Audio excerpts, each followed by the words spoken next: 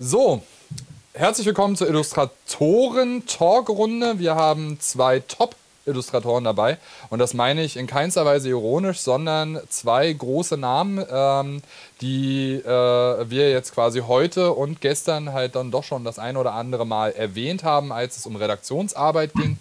Ähm, wir haben einmal den Franz Vohwinkel, ja, das ist quasi ein Urgestein der, äh, der, der Spiele-Illustration, möchte man halt tatsächlich sagen. Und das, äh, genau, ja.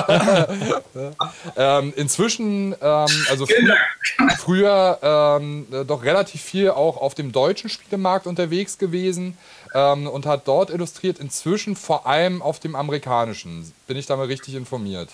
Also. Äh, nee. Nein, nee. tatsächlich nicht. Okay. Nein, also das ist so, das war, äh, äh, ich bin zwar rüber nach Amerika gezogen, äh, aber dadurch hat sich, äh, hat, sich meine, hat sich meine Kundenliste eigentlich fast nicht verändert. Okay.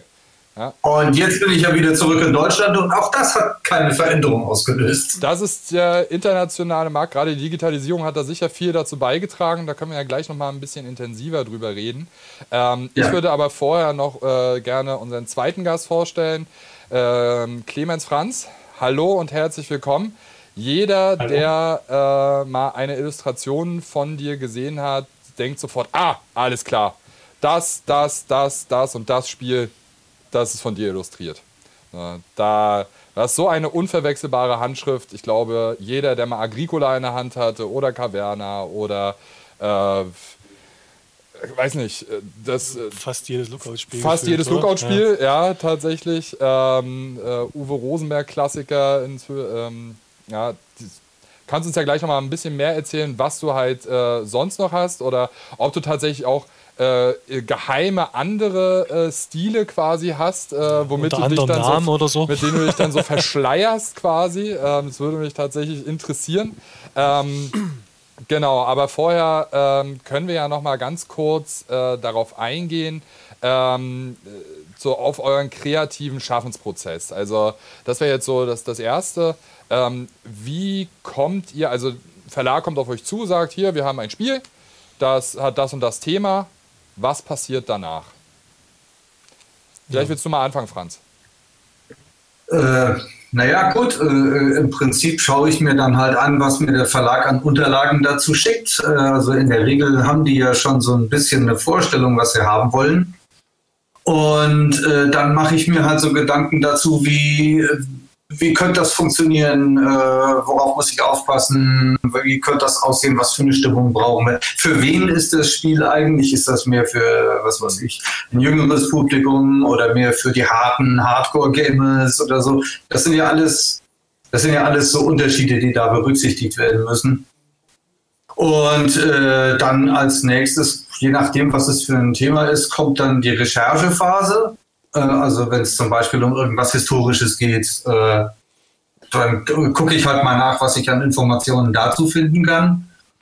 Und ja, dann fange ich irgendwann an, Entwürfe zu machen und es wird ja dann mit ähm, der Redaktion vom Verlag Stück für Stück wird das besprochen. Und so, so geht es dann weiter. Das ist quasi so der, der, der Startpunkt sozusagen ähm, ja. der Informationen, die du dir halt äh, einholst.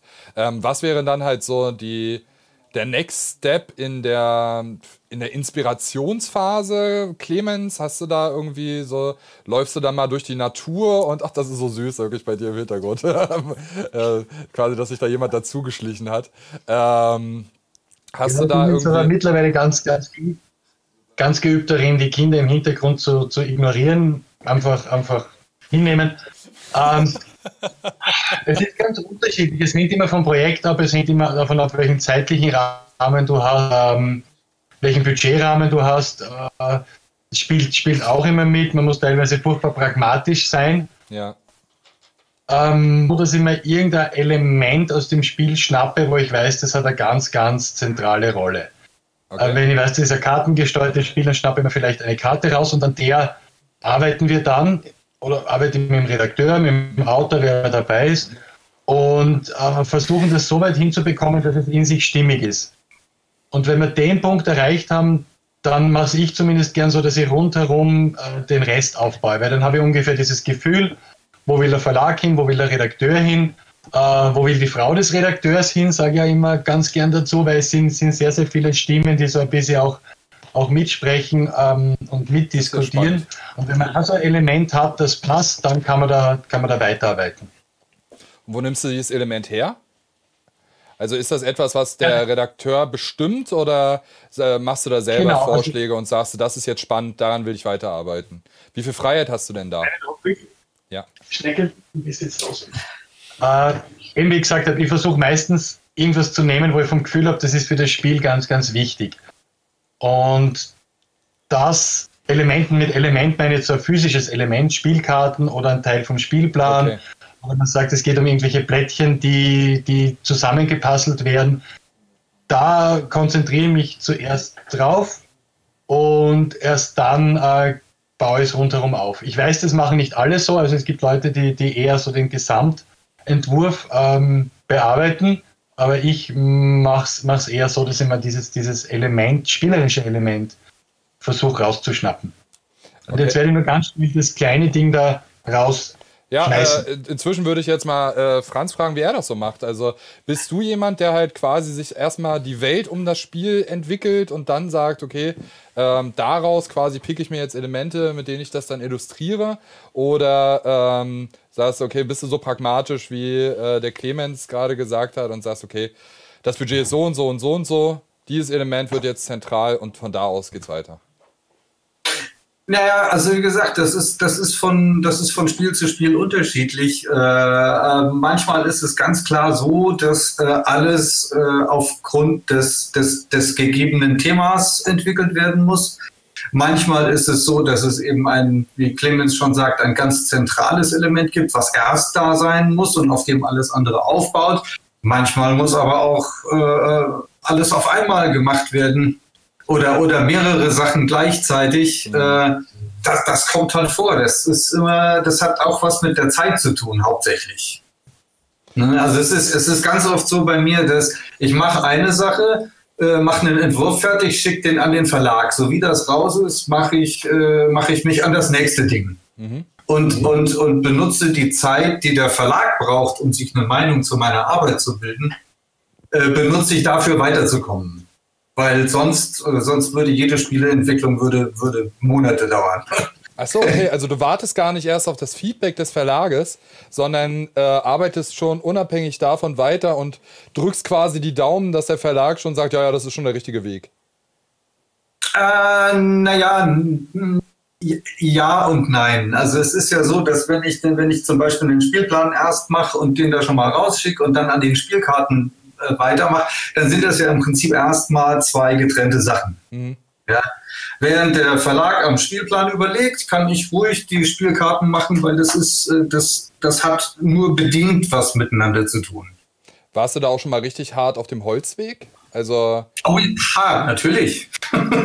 Selbstverständlich. Das kommt immer wieder mal vor, dass äh, äh, ist, äh, was weiß ich, ich, äh, ich, ich sehe das, die Beschreibung und alles und dann spielt sich bei mir im Kopf irgendwas ab und dann mache ich was und dann stellt sich raus, dass die eigentlich ganz was anderes gemeint hatten. Also mhm. das kommt immer wieder mal vor.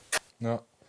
Kannst du das so bestätigen, Clemens? War das bei dir auch schon oft der Fall oder sagst du, inzwischen hat sich das so eingespielt, du arbeitest immer mit den gleichen Redakteuren zusammen? Hatten wir gestern zum Beispiel in der Redaktionsrunde auch, dass die halt gesagt haben, okay, es gibt halt einfach so eine Handvoll Illustratoren und Grafikern, mit denen sie halt so oft zusammenarbeiten, dass man sich ja quasi schon irgendwie blind versteht. Ja, dass es halt bequem ist, auf eine nicht negative, sondern sehr positive Art miteinander zu arbeiten. Ähm, das ist auch der Punkt, der es oft für, für neue Illustratoren, Illustratorinnen schwierig macht, in die, in die Branche reinzukommen, äh, weil die Verlage eben oft auch unter Zeitdruck stehen und dann sagen sie, gut, wir haben jetzt ein Spiel, das wollen wir schnell machen. Ähm, aber wir haben nicht die Zeit, um uns auf einen neuen Illustrator, Illustratorin einzulassen. Das heißt, wir schnappen uns jemanden, wo wir wissen, das funktioniert, das hat Hand und Fuß. Äh, aber auf die einge eingehende Frage, ähm, grundsätzlich einmal jeden Fehler, den man machen kann. Ich glaube, ich bin bei 90 Prozent der Fehler, die man machen kann, habe ich gemacht. Mhm. Ähm, ist einfach passiert. Äh, auf dem Holzweg ja und nein. Äh, nein, deshalb, weil die Verlage natürlich versuchen, zu schauen, das ist das Spiel, das ich habe, das könnte man zum Beispiel jetzt mit einem Franz Vorwinkel vorstellen oder mit einem Clemens Franz vorstellen. Äh, das heißt, es kommt relativ selten vor, dass man sagt, hm, glaube ich bin jetzt der Falsche. Es ist auch schon passiert, muss ich sagen, dass ein Verlag auf mich zugekommen ist und gesagt hat, das wollen wir machen. Und ich entgegnen musste, ich glaube, da findet es bessere, die das besser und schöner und, und toller hinbekommen. Also wirklich aus, äh, ganz, aus, aus, aus richtig äh, so dem, der inneren Überzeugung, ähm, nicht weil du keine Lust drauf hast, sondern dass der Verlag wirklich, dass das Spiel es verdient hätte, dass jemand anderes es illustriert. Genau. Also auf mich ist ein Verlag mit einem Rennspiel zu, äh, auf mich zugekommen und die wollten es eben sehr, sehr realistisch ähm, gestaltet haben. Und da habe ich sagen müssen, kann ich nicht, äh, können andere besser, können andere schneller. Und das ist, glaube ich, nur fair. Und wenn man den Luxus hat, natürlich zu sagen, ich kann, kann Aufträge auch hin und wieder ablehnen, dann auf langen Zeitraum, glaube ich, nutzt dir die Sache auch, weil du, weil du dir eine Reputation aufbaust. Und hin und wieder kann man das so sagen, ist nicht mein Thema, bin ich irgendwie nicht zu Hause oder vielleicht auch bringe ich zeitlich nicht mehr unter. Das sind alles Dinge, die, die möglich sind da schließt sich ja eigentlich ja direkt die Frage an nach dem Stil. Ja, also ähm, quasi, du sagst, ja, das ist jetzt so, der Realismus ist jetzt gar nicht so mein Ding, vielleicht ist eher vielleicht auch dein Ding, Franz, ähm, obwohl du ja auch sehr viel Fantasy machst. Ähm, ist das so, sobald man halt auf einen Stil festgesetzt ist, dass man dann halt eigentlich im Grunde nur noch für diesen Stil gebucht wird? Weil ich habe ja zum Beispiel, wir haben uns auch mal darüber unterhalten, dass du halt zum Beispiel Illustratoren sehr gut findest, die, die sehr vielseitig sind. Ja, also wir haben ähm, ja, mit einigen Illustratoren schon zusammengearbeitet. Es gibt einige, die sind wirklich sehr festgelegt in ihren Stilen. Also dann weiß man im Prinzip schon vorher, was man bekommt, was auch ganz gut ist, weil man, wenn man weiß, dass der, dass der Stil zu diesem Spiel passt, dann ist es eigentlich relativ einfach zu sagen, hey, willst du nicht. Und dann kann man hoffen, dass dann Termin frei ist, so grob gesagt, um äh, dann gegebenenfalls zusammen loslegen zu können. Aber was auch sehr, sehr spannend ist, es gibt auch einige Illustrationen, äh, Illustratoren, äh, die ich bis inzwischen kennengelernt habe, die sehr unterschiedliche äh, Stile auch verfolgen können und die auch halten können, mal als Beispiel. Also jetzt hier, ich habe ja mit dem äh, Robon hier zusammengearbeitet, der das King of 12 gemacht hat. Der hatte ja sehr, sehr unterschiedliche äh äh, Illustrationen, mit denen der ursprünglich dann gepitcht hatte, die wirklich sich fundamental voneinander unterschieden haben. Also kann man echt sagen, das, das hätte ich jetzt nicht gedacht, dass das vom selben mhm. Illustrator ist. Ja, und das gibt es ja dann auch. Und das macht es aber auch sehr flexibel, wenn man jetzt, äh, äh ich sag mal so, mal, mal äh, noch eine Notlösung braucht, wenn man irgendwo eine Kleinigkeit vergessen hat. Der ursprüngliche Illustrator ist vielleicht jetzt schon nicht mehr frei, kann nichts mehr machen. Dann kann man mal eben noch jemanden ins Boot holen, der dann mal eben äh, äh, noch so eine Kleinigkeit den, sich den äh, rettet, so sozusagen, den Stil auch anpassen kann mhm. und so. Äh, das ist dann auch mal ganz äh, nützlich, sage ich mal. Ja, und äh, das ist jetzt die Frage. Also ich bei beim Clemens ist mir jetzt das, also da habe ich das Gefühl, dass das der typische Clemens so vom Stil her. Beim, beim Franz würde ich jetzt gar nicht mal so behaupten können, dass ich das sagen würde. Ich glaube, du bist ja auch vielseitiger, was die einzelnen. Naja, gut, das hat, das, das hat bei mir natürlich ein bisschen was auch damit zu tun, dass ich ja äh, eben Anfang der 90er äh, angefangen habe damit. Damals war die Spieleszene ja völlig anders. Da gab es ja, da gab's ja was weiß ich, eine Handvoll Verlage, die da wirklich äh, äh, präsent waren. Und da ging das einfach nicht, dass man sagt, okay, jetzt sieht das Spiel, was ich für Schmidt-Spiele mache, sieht ganz genauso aus wie das, was ich äh, für Hans im Glück Spiele mache. Ja? Ähm, jetzt rein stilistisch. Also habe ich eigentlich schon von Anfang an immer versucht, das möglichst so zu machen, dass, ähm, dass sich da kein jetzt spezieller Stil entwickelt, auf den ich festgenagelt werden kann später. Also auch weil ich da eigentlich gar keine Lust drauf habe, dann immer dasselbe zu machen. Und das kommt ja noch dazu. Äh, aber es ist halt so, dass äh, für mich, für mich ist das eine tolle Sache, dass ich, ich, äh, ich finde das schön, eine Karte für Magic the Gathering zu machen und im Anschluss direkt äh, eine neue Edition von Sex Nip zu gestalten. ist wunderbar.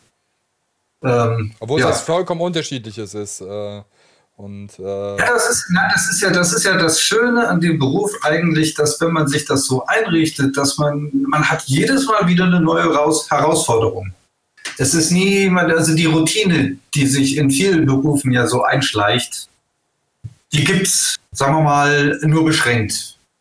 Man kann sich das so einrichten, aber wenn man es vermeidet, kann man es auch vermeiden. vermeiden. Also, ja.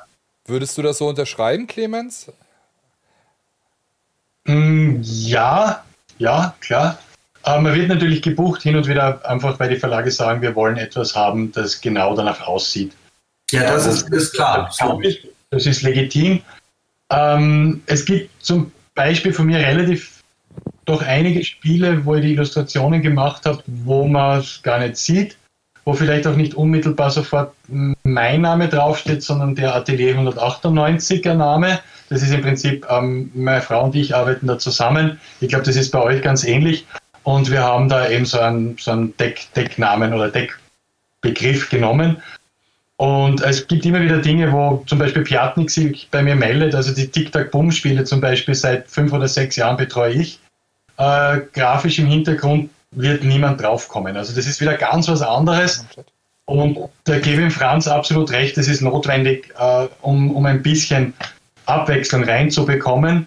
Und bei mir ist es momentan auch so, dass ich in den letzten ein, zwei Jahren versuche, ein bisschen mehr äh, von den Illustrationen auch, auch zurückzukommen und äh, mit jungen Illustratoren zusammenzuarbeiten, die einfach wahnsinnig gut sind technisch. Also ganz, ganz großartige Leute gibt es da, denen aber noch so diese Erfahrung fehlt, was, was Gesellschaftsspiele, Brettspiele betrifft. Aber das ist etwas, was ich gemerkt habe, dass junge Illustratorinnen und Illustratoren technisch sensationell gut sind. Dann dürfen die ein Brettspiel machen und das Ding ist einfach von, von der Usability, von der Spielbarkeit her absolute Katastrophe. Mhm. Und das ist etwas, wo ich momentan einfach ähm, mich auch sehr wohl fühle, weil ich ja sehe, da gibt es so viele, die, die, die ganz, ganz tolle Dinge tun. Und es braucht einfach eine Zeit, um das Know-how zu entwickeln. Die profitieren natürlich auch sehr stark von deinem Namen. Ne? Also, dass du quasi die Kontakte dann halt schon hast und sagen kannst, okay, ich habe hier eine Idee, da könntest du hingehen, wenn ein Verlag dich fragt, ja, ich kann jetzt nicht, aber ich hätte da jemanden, der das halt auch eventuell übernehmen könnte. Ne? Also baust du quasi deine eigene ja, Meisterschule sozusagen auf. Es, ist jetzt sehr, es sind jetzt sehr große Wörter, ja. äh, große Begriffe.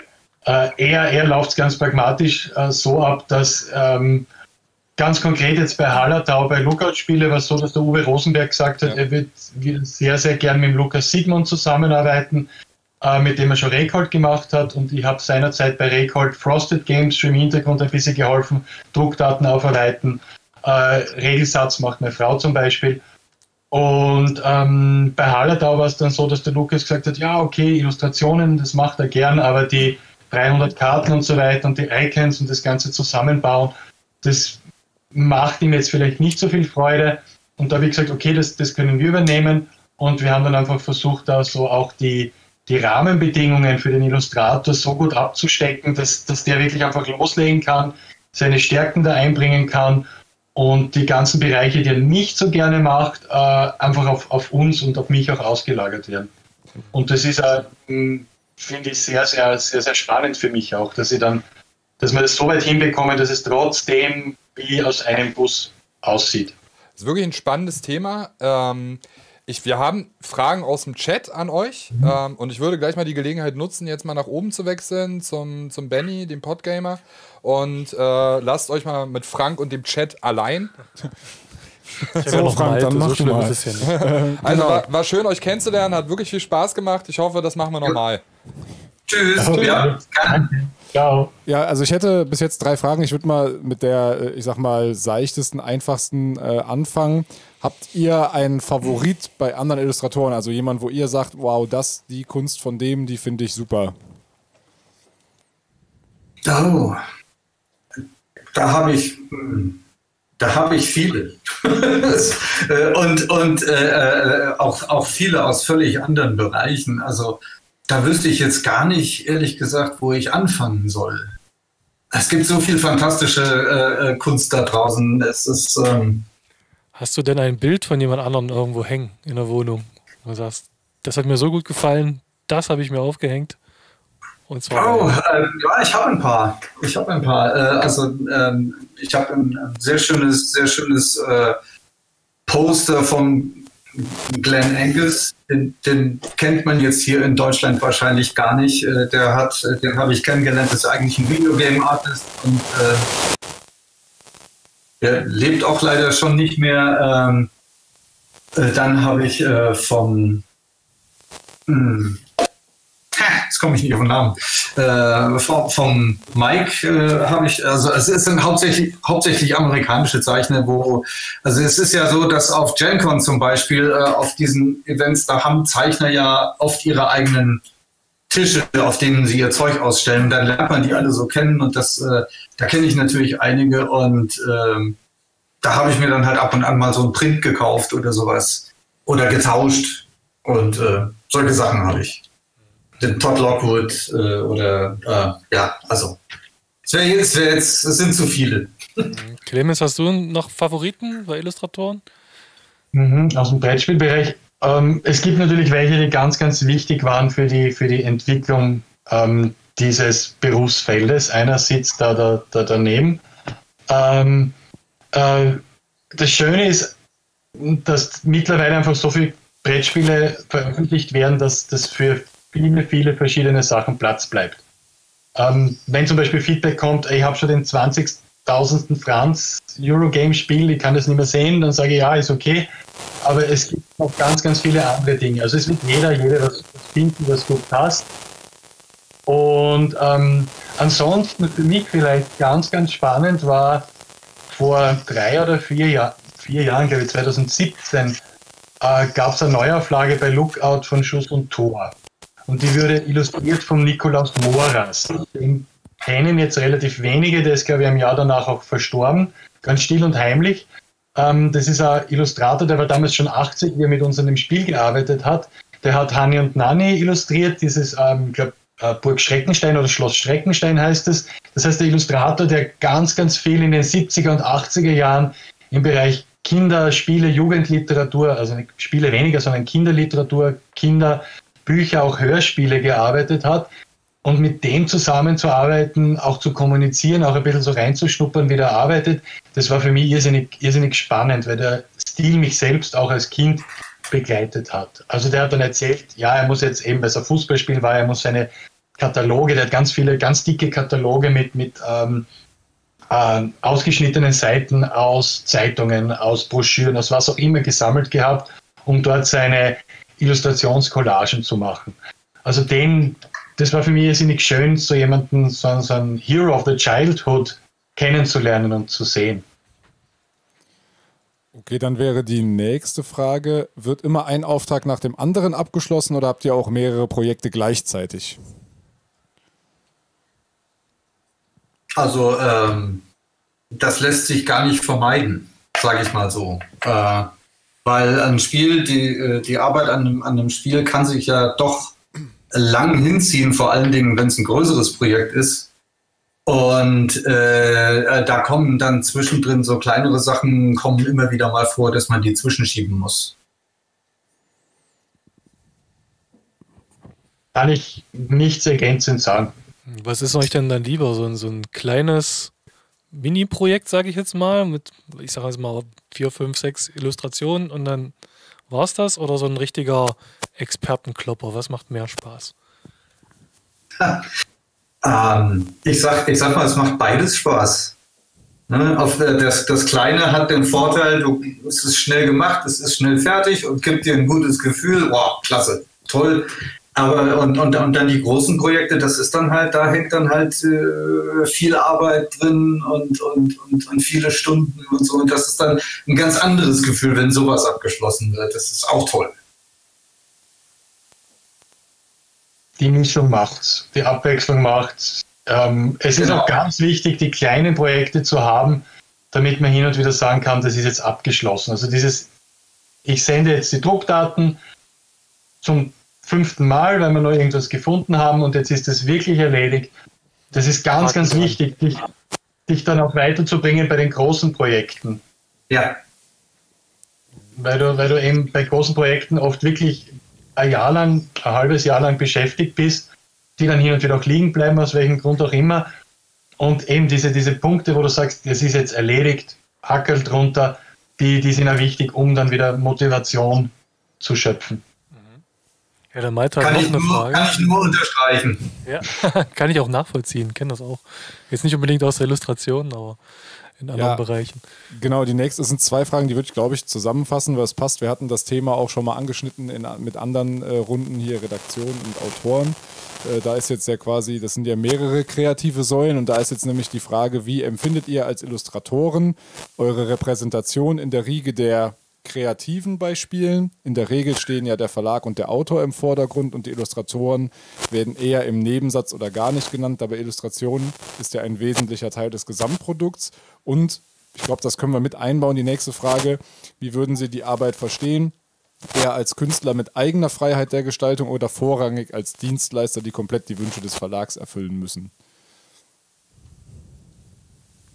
Ja, Clemens, fangen wir bei dir an. Ähm, es ist eine, eine, eine Dienstleistung. Also ich sehe es jetzt nicht unbedingt als, als Beruf, um künstlerisch zu verwirklichen. Es ist ein Beruf, der künstlerische Qualitäten braucht, der Kreativität braucht, der aber sehr, sehr viel Handwerk äh, braucht, der sehr, sehr viel m, hm, Abarbeiten braucht.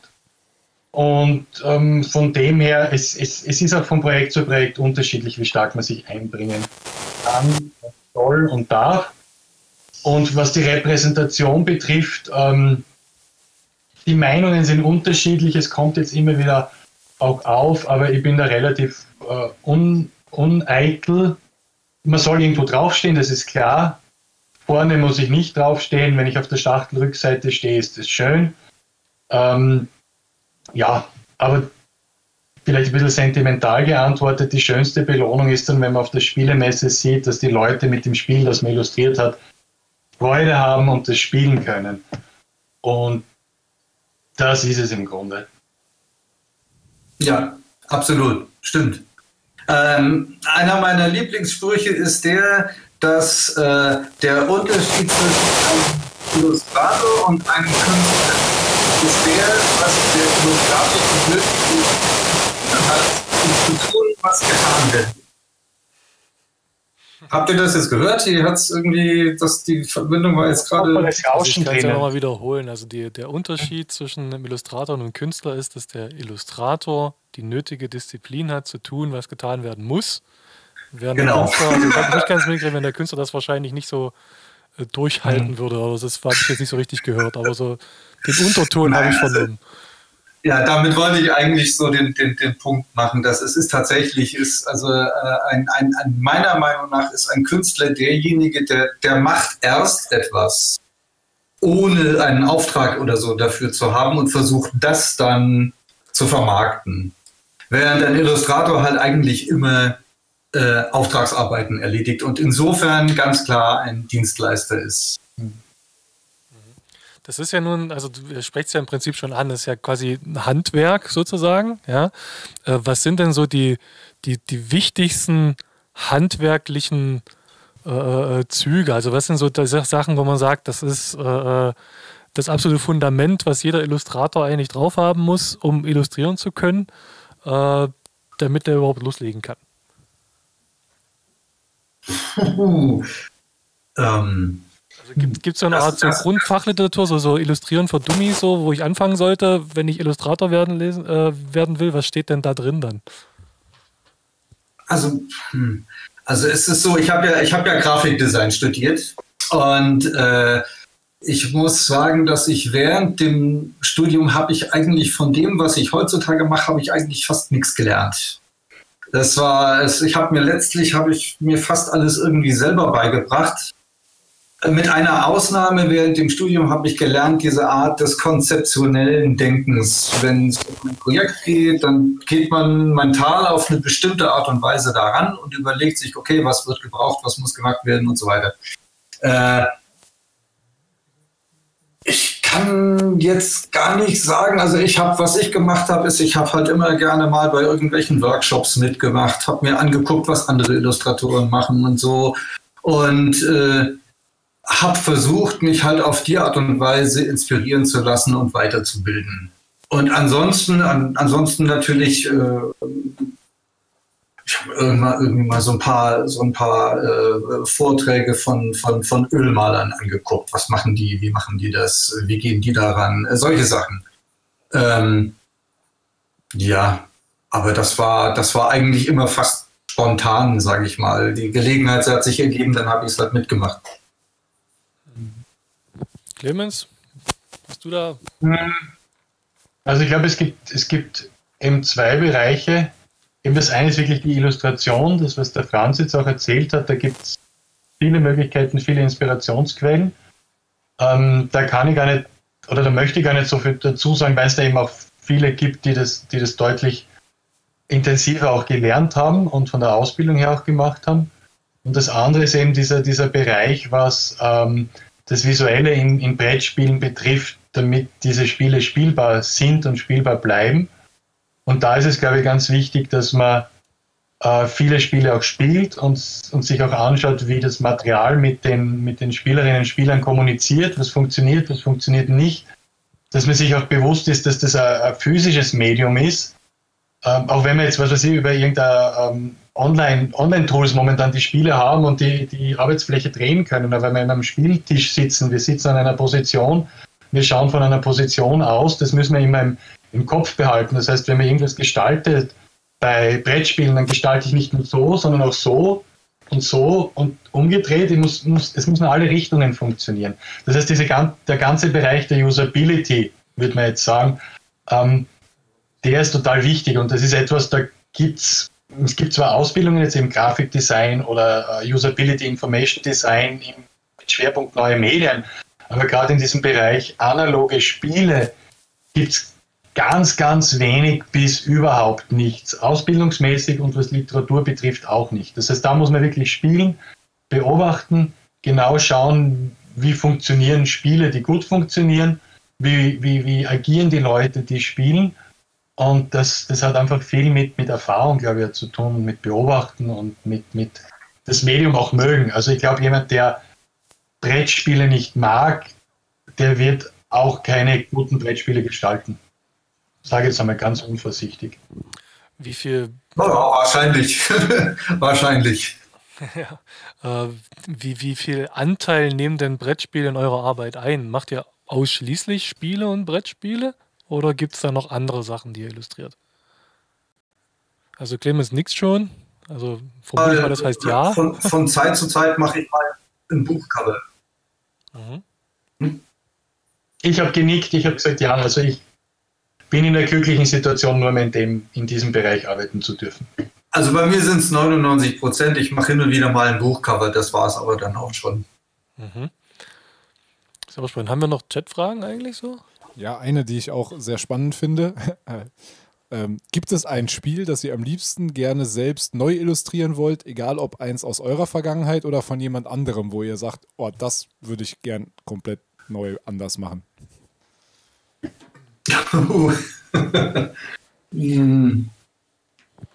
Dann fange ich einmal an. Ja. Ähm, tatsächlich ist das eine Frage, die ich immer wieder gestellt bekomme. Ich weiß nicht, wie ich das werten soll.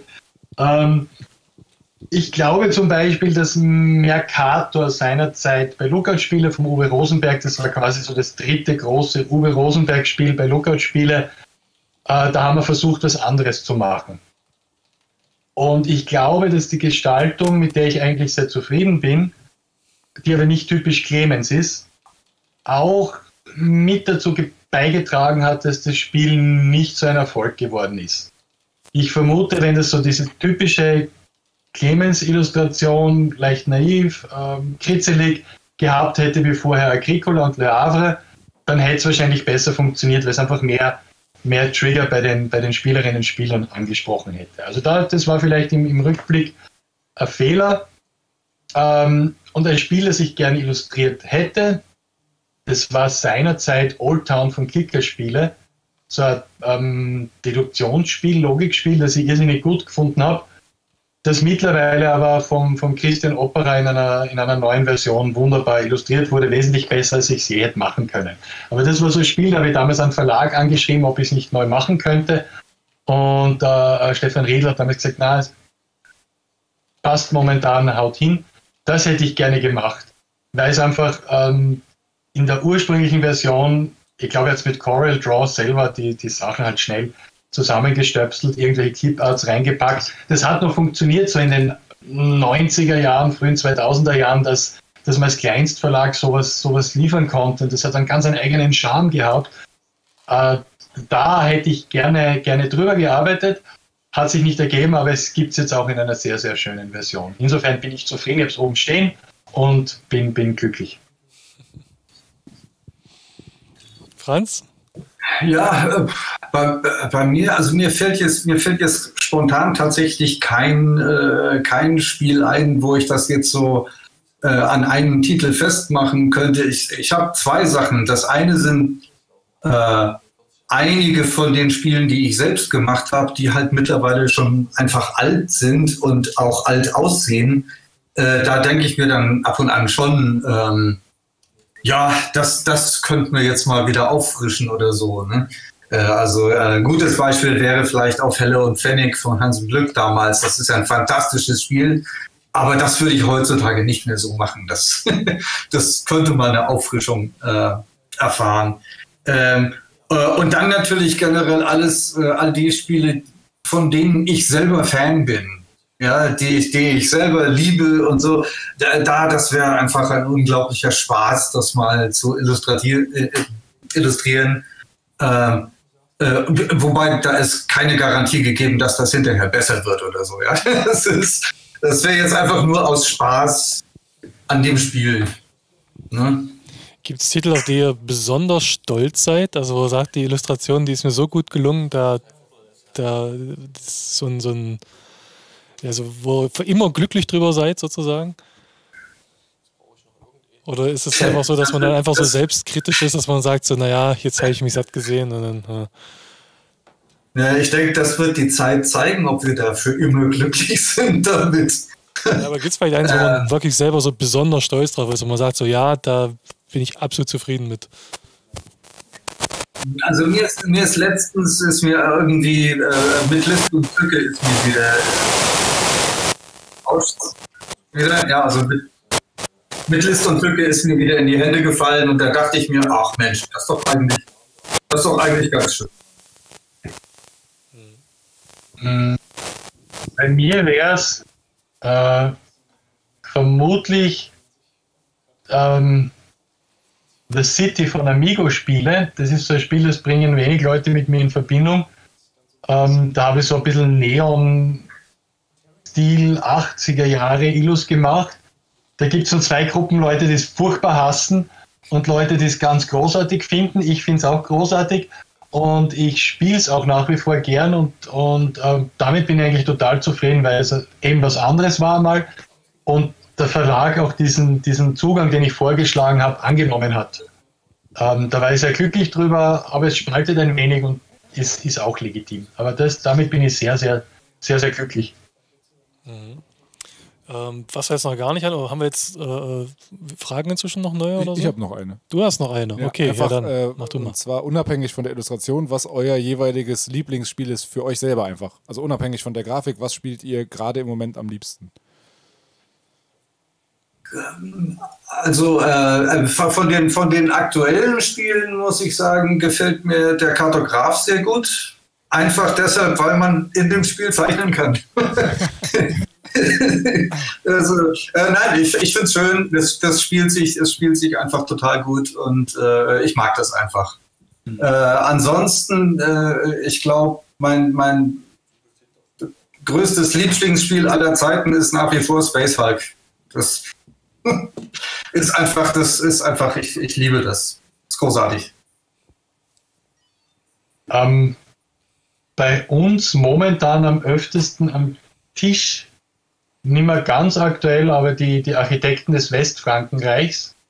Ähm, da ist einfach, wie wir gemerkt haben, das holt relativ viele Leute mit an Bord, äh, wo man auch ähm, Leute, die normalerweise nicht so viel spielen, nach einem anfänglichen, äh, oh, was gibt es alles zu bedenken, dann draufkommen, dass das thematisch dann doch Sinn macht und sehr, sehr viele coole und pfiffige, pfiffige Mechanismen hat. Das heißt, das kommt bei uns momentan relativ häufig auf den Tisch. Ansonsten mit den Kindern ganz, ganz viel haben wir in letzter Zeit das Karak gespielt. Das ist so ein ganz einfacher äh, Dungeon Crawler für, ich sage mal, Kinder ab sechs Jahren funktioniert das schon. Sensation oder unanständig wenig Regeln, aber es funktioniert trotzdem irrsinnig, irrsinnig gut und ist stimmig und ist, ist spaßig, kann sehr, sehr gemein sein, aber das, das hat sehr, sehr viel Tischzeit, würde man sagen, bei uns bekommen. Mhm. Ja, also ich komme mal wieder zurück äh, zur Arbeit sozusagen. Die, äh, was mich jetzt interessieren würde und sicherlich auch andere ist, wie erstellt ihr Illustrationen? Also mit welcher Technik? Also inzwischen vermute ich mal, wird sie digital sein größtenteils, aber macht ihr auch noch was mit dem Pinsel direkt oder mit dem Bleistift oder wie auch immer? Äh, wie geht ihr denn vor? Was benutzt ihr da? Franz, fang du mal an, bitte. Ähm das ist unterschiedlich. Also es ist so, dass ich prinzipiell immer mit Papier und Bleistift anfange. Ich äh, bin, ich habe mich nie dran gewöhnen können, gleich die Skizzen auch schon am Computer machen zu können äh, oder zu machen. Das ist also mit Bleistift und Papier, da, damit geht's immer los. Und dann, äh, und dann kommt es drauf an. Also wenn ich sowas, äh, wenn ich sowas mache wie, äh, wie zum Beispiel eine Magic-Karte für Wizards of the Coast, dann versuche ich die immer tradi traditionell zu machen. Also äh, in dem Fall dann Öl. Äh, einfach deshalb, weil es gibt da eine große Fangemeinde, die dann auch äh, die Originalbilder kaufen wollen. Und das ist natürlich, ist natürlich eine schöne Sache, wenn man das dann machen kann. Ansonsten für die, für die Brettspiele ist es eigentlich so, dass das ist fast alles digital, einfach aus dem Grund, weil ähm, das von der Weiterverarbeitung her so viel einfacher ist, als wenn man, als wenn man äh, da traditionell vorgehen würde. Für den Verlag, für alle Beteiligten ist das einfach, ist einfach das Medium der Wahl, sag ich mal. Clemens, bei dir ja. auch so? Also zu Beginn noch, noch, noch verstärkt am Papier gearbeitet. Ähm, ausbildungstechnisch komme ich zwar aus einem ganz anderen Bereich, ich komme eher aus der, aus der Bildhauerei, habe da äh, Ausbildung genossen. Und am Anfang ja am Papier, weil mittlerweile die Prozesse, wie sie ablaufen, ähm, macht das Digitale einfach deutlich, deutlich einfacher. Ich frage mich oft, wie das in den, in den, in den vordigitalen Zeiten war, äh, wie das mit den Korrekturdurchgängen und, äh, gelaufen ist. Ähm, weil mittlerweile muss ich sagen, gerade bei komplexeren Spielen äh, sind, sind so viele Parameter, die man einstellen muss, die man, die man anpassen muss, dass das einfach nicht digital sehr, sehr äh, schwierig und zeitintensiv werden würde. Also auch die, das ist ja auch so, dass sich die Arbeitsweise der Verlage ja auch äh, sehr verändert hat dadurch. Äh, äh, als ich angefangen habe, war das ja alles noch gar nicht mit digital, da ging es ja gar nicht anders. Und da war es dann eben so, dass der Verlag seine redaktionelle Arbeit abgeschlossen haben musste, bevor er den Illustrator beauftragt, weil jede Änderung hinterher äh, hat, hat, die, hat im Prinzip das Projekt über den Haufen geworfen. Und heutzutage ist das natürlich anders. Heutzutage haben die Verlage dadurch auch die Freiheit, quasi bis zur Druckabgabe am Schluss noch irgendwelche Sachen zu verändern. Ähm, das wird, würde mit traditionell wird das halt einfach nicht gehen. Wenn ich jetzt äh, ein ambitionierter, angehender Illustrator bin, ich sitze den ganzen Tag zu Hause, zeichne meine Sachen, äh, äh, denke, das, das kann ich, das will ich, das will ich können.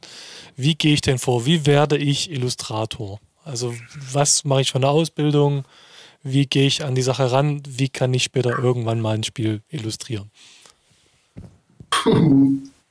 Das, das ist schwer. Das ist schwer. Also ich habe ja selber keine keine Ausbildung äh, als Illustrator in dem Sinn. Ich habe halt Grafikdesign studiert und bin dann ganz zufällig reingerutscht.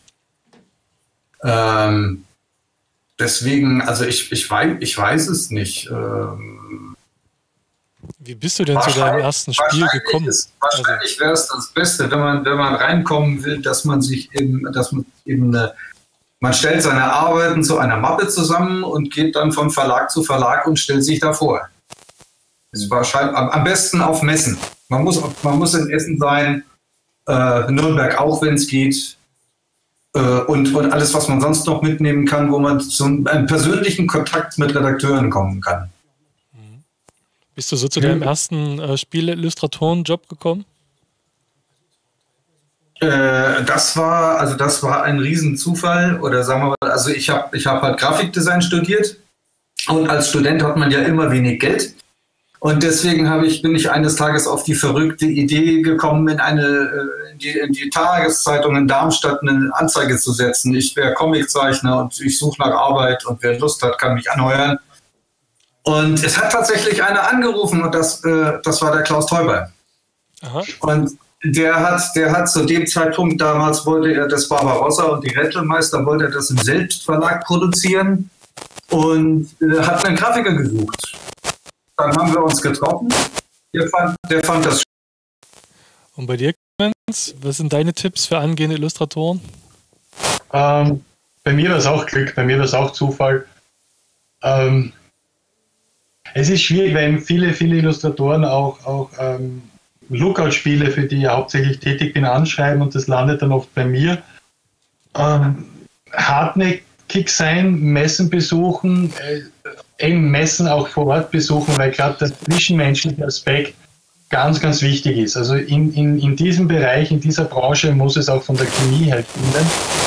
Und darum ist es auch immer gut, wenn ähm, du die Akteure einfach kennst und wenn ich da Illustratorin sehe oder Illustrator, mit dem Plaudern das Gefühl habe, okay, das passt von der Chemie her, das ist auch vielleicht auch unkomplizierter, das, das ist auch ein ganz wesentlicher Bereich, ähm, dass man, dass man gewiss, gewisserweise pragmatisch ist.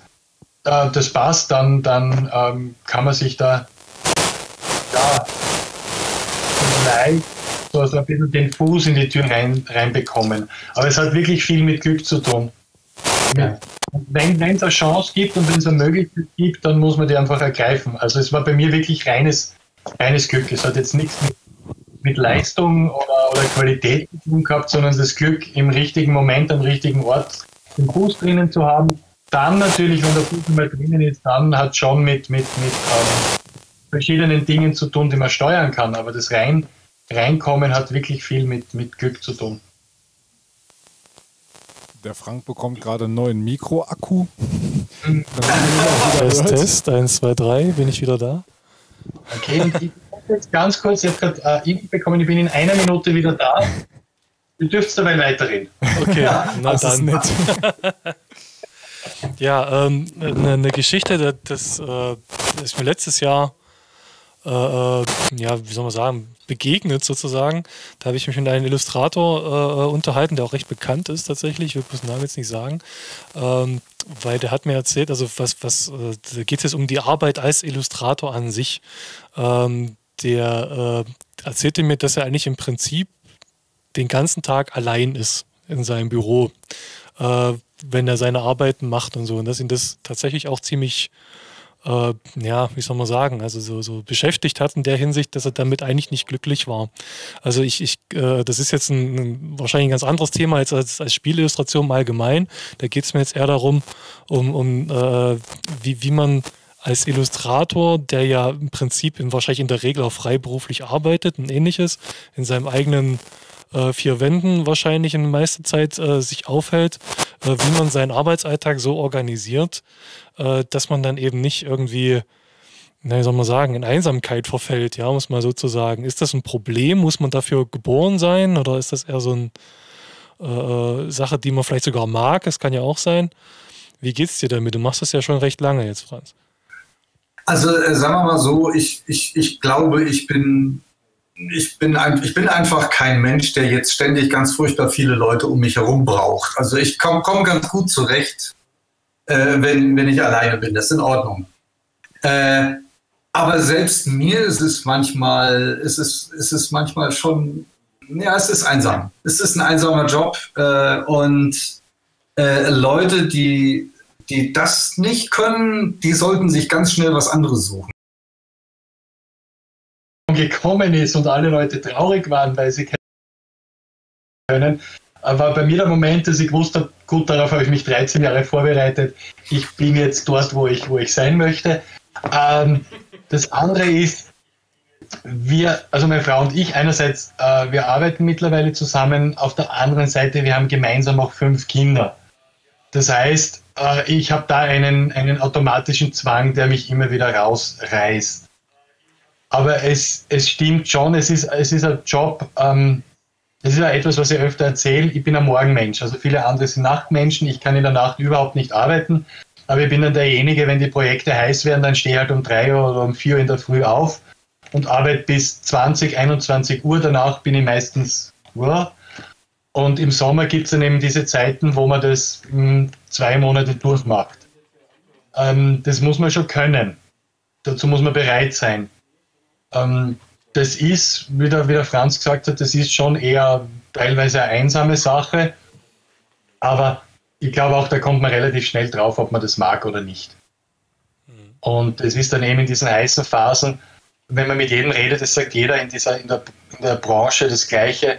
Die Zeit, wenn es wirklich viel ist, ist zwar anstrengend, aber die Belohnung folgt dann im Oktober. Die hat heuer ausgesetzt, die Belohnung. Ähm, wir versuchen sie jetzt so ein bisschen nach, nachzuempfinden. Aber wirklich eben dieser Besuch in Essen äh, und die Leute dann die Spiele, Spiele sehen, dann, dann weiß man wieder, warum man es macht und warum man es gern macht.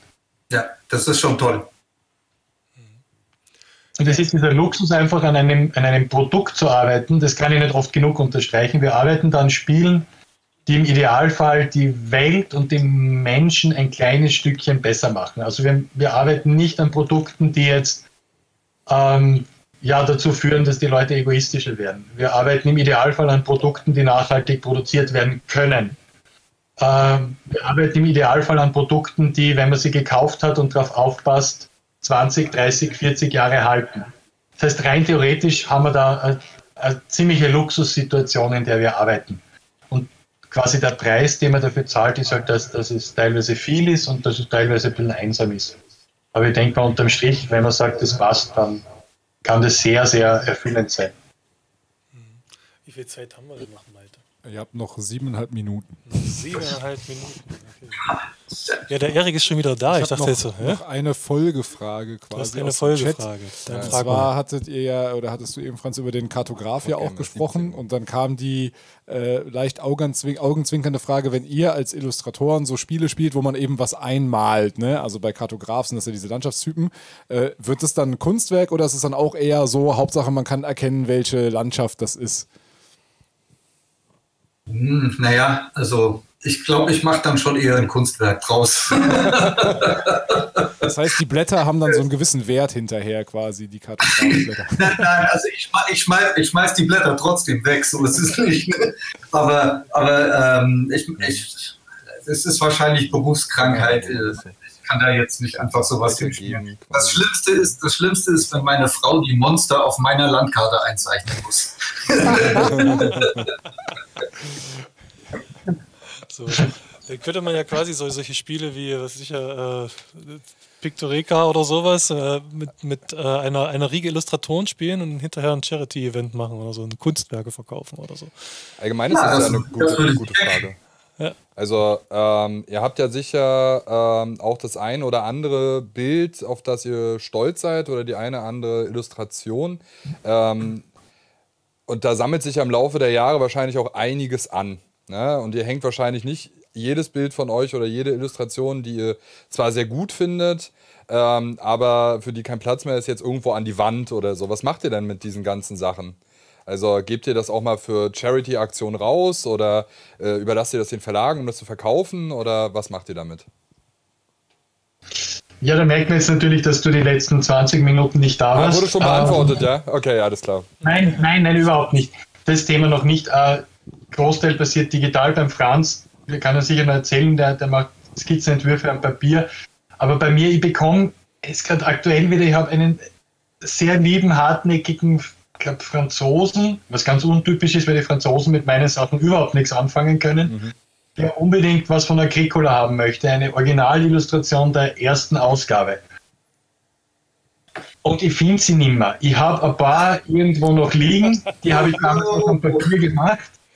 Und ich weiß, da hinten oben irgendwo in irgendeiner Mappe sind vielleicht noch zwei, drei drinnen und der hätte so gerne eine Originalillustration. Und ich habe jetzt welche gefunden aus der Moorbauern-Erweiterung, aber das ist nicht das, was er möchte. Ja, ja. Also es kommen immer wieder Anfragen, äh, was diese Dinge betrifft.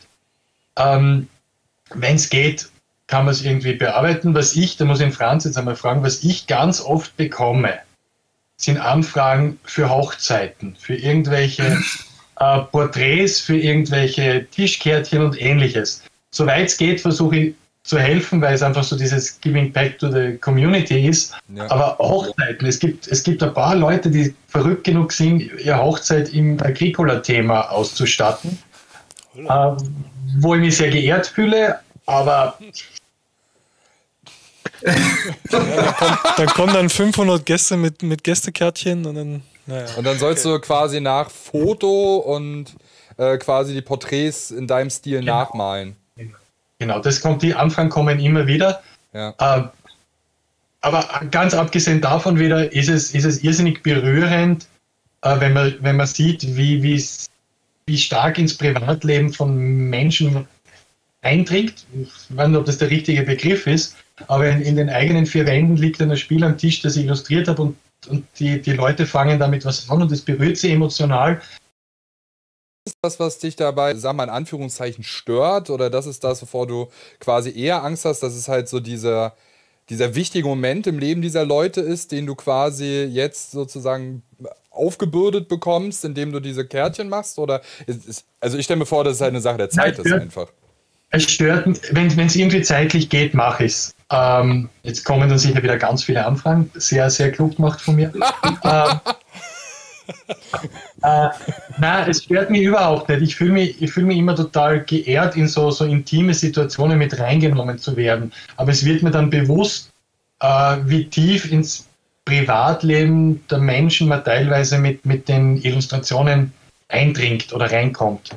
Mhm. Ähm, dass das Dinge sind, die, das hast, hast bei jeder, jeder Kunstform, das heißt bei Büchern, das heißt bei Filmen, das heißt bei Musik, dass du Leute teilweise in, in Bereiche oder in Bereichen begleitest oder erwischt oder, oder dort bist einfach, äh, wo es vielleicht schwierig ist, wo es vielleicht wahnsinnig schön ist und äh, die erleben dann, was weiß ich, eine traumhaft tolle Runde äh, Agricola an einem Abend, wo, wo einfach alles gepasst hat und erinnern sich ihr Leben lang dran. Mhm. Und das meine ich einfach damit, dass man da ähm, bewusst oder unbewusst, da war immer lange nicht bewusst, sehr, sehr, sehr, sehr nah bei den Menschen dabei ist. Der Franz hat ja vorhin schon erwähnt, dass er Magic-Karten in Öl malt, also die Illustration für Magic-Karten, äh, mhm. dann, weil es Leute gibt, die die dann äh, als Originale kaufen möchten. Äh, ja. Das hat es vorhin zumindest im Nebensatz gesagt, ich habe hoffentlich richtig mitbekommen, äh, dass das so war. Äh, äh, wie läuft das dann ab? Also wie, wie schreiben die dir dann und sagen, hier, egal was das nächstes Mal ist, hier hast ein Abo, ich will das jetzt und sag, was du brauchst oder wie funktioniert das dann? Ja, also äh, das ist also bei Magic ist es ja, ist es ja, das ist ja Magic ist ja ganz was Spezielles. Das ist im Prinzip eine eigene, eine eigene Spieleszene innerhalb der Spieleszene sozusagen. Äh, da gibt es ja zum Beispiel gibt es äh, äh also ich habe noch niemanden getroffen aus der Liga, aber es gibt eine Liga, in der darf man nur dann mitspielen, äh, wenn man nur Karten in seinem Deck hat, von denen man das, die Originalillustration besitzt. Ha! Das gibt, das gibt es. Äh, angeblich. Also, äh, ja. Und nee, und es ist, es ist tatsächlich so, das funktioniert so. Bei Magic ist es ja so, weil ähm, es hat in der Vergangenheit ja immer wieder, äh, immer wieder so ein bisschen Schwierigkeiten gegeben äh, mit, mit, den, mit den Künstlern, dass die sich äh, online irgendwie verplappert haben und, oh, und in dem Set kommt dann das und das raus und so. Und deswegen ähm, äh, verrät, verraten Wizards of the Coast, verraten den, äh, den, den Zeichnern gar nicht den Namen der Karte oder, oder für das Set bekommst du auch nur irgendeinen Codename und äh, und du weißt auch gar nicht, was die Karte macht und all solche Sachen. Also das ist alles sehr, sehr geheim. Und dann passiert plötzlich äh, passiert Folgendes. Ich bekomme 10, 20 E-Mails an einem Tag, äh, wo es heißt, hier, äh, ich möchte das und das kaufen. Äh, und, und dann weiß ich, aha, Wizards of the Coast hat eben irgendwo veröffentlicht, dass es diese Karte jetzt gibt oder in zwei Monaten geben wird oder irgendwie sowas. Es ist jetzt öffentlich. Mhm. Und dann mhm. versteigerst du die Dinger oder wenn du so viele Anfragen kriegst oder wie funktioniert das dann? Also meistens, äh, äh, also meistens nehme ich halt äh, den, der dann in dem Moment das Beste bietet oder, äh, oder vielleicht auch einen, den ich schon kenne. Mhm. Sind, ja, sind ja oft dieselben Leute. Ja, okay. Ähm, ich habe gerade ein Zeichen gekriegt von der Regie. Wir sind quasi, wir, wir haben schon überzogen. Leicht. Ähm, ich fand es super spannend. Es war sehr schön, äh, sich mit euch zu unterhalten. Äh, Auch sehr sympathische Gäste, muss man tatsächlich ja, sagen. Also muss man echt sagen. Dankeschön, äh, Dankeschön. Und, Tolle. Äh, ja, danke. Vielen Dank. Dann, äh, ich wünsche euch noch eine schöne Restmesse. Ich hoffe, ihr könnt es auch ein bisschen verfolgen und habt auch ein bisschen Spaß dabei. Und Auf jeden Fall ja, dann äh, vielleicht sehen wir uns ja nochmal in irgendeinem anderen Stream. Wir haben ja vorhin schon darüber gesprochen, dass wir das vielleicht öfters machen wollen. Ja. Und äh, das war ja schon eine recht spannende Sache jetzt. Okay, dann schönen Resttag Alles noch. Viel Erfolg weiterhin. Dankeschön. Wir übergeben Danke. jetzt an Robert. Wir übergeben an Robert und Robert haut jetzt wieder Aktionen raus ohne Ende. Seid gespannt, da gibt es einiges zu holen. Ich weiß, was kommt. Gleich wisst ihr es auch.